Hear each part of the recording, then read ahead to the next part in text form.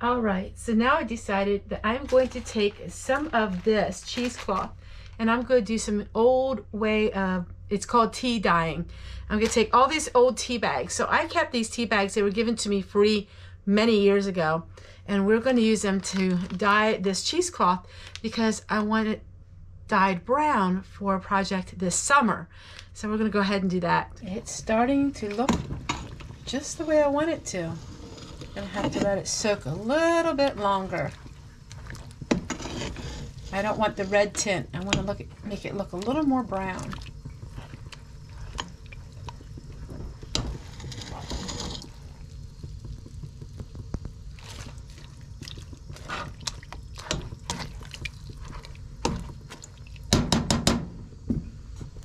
And I'm finally going to work on my cinnamon ornaments for in our bedroom and my little pine tree. All we do is add equal parts of the applesauce and equal parts of cinnamon. To give it a little more scent, we're going to use the pumpkin spice.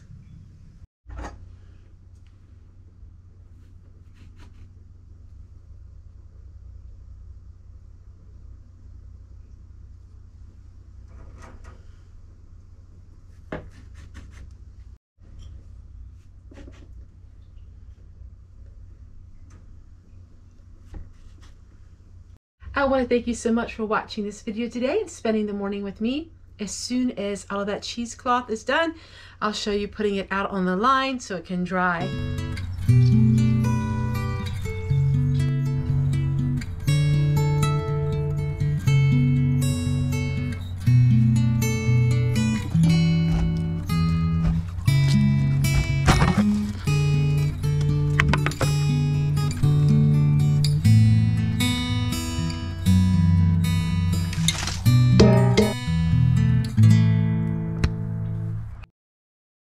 If you want to make air fresheners that doesn't cost hardly any money, these cinnamon ornaments are absolutely amazing.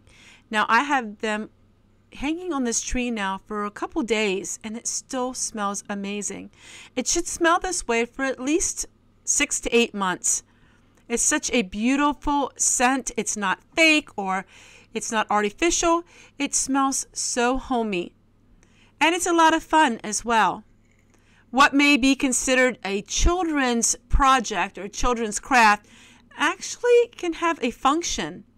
So I waited 24 hours. I actually did put it in the dehydrator and I dried it just a little bit and now I'm hanging them on the tree and it smells so good.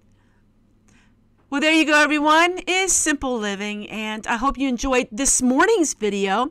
I hope you stay tuned for tonight because there is two videos on a Wednesday. And, well, I'll let you watch just the end of this video. I just want to take a moment to say thank you guys so much for watching my channel and watching my videos. It means so much to me. I also want to just say a special thank you to Joyce for this lovely box.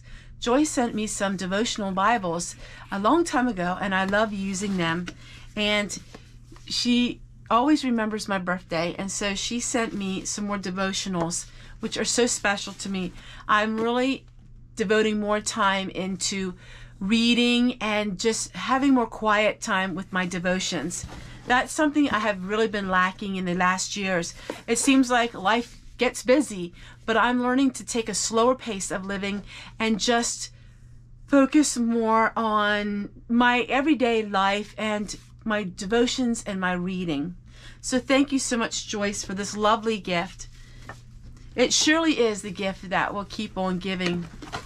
And then she had got these soap making kit and I am going to be working on that in a video here real soon. So thank you so much Joyce for all these lovely things and it means so much to me. Thank you so much Joyce for the beautiful pens as well. That's so very kind of you and thank you so much for this.